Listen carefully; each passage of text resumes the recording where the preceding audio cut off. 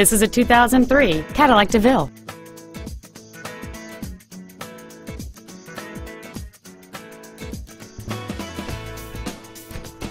Its top features include a driver's seat with memory settings, heated front seats, a rear window defroster, keyless entry, a premium sound system, a CD player, a low tire pressure indicator, a traction control system, and it's easy to see why this automobile is an excellent choice. This Cadillac has had only one owner, and it qualifies for the Carfax buyback guarantee. Contact us today to arrange your test drive.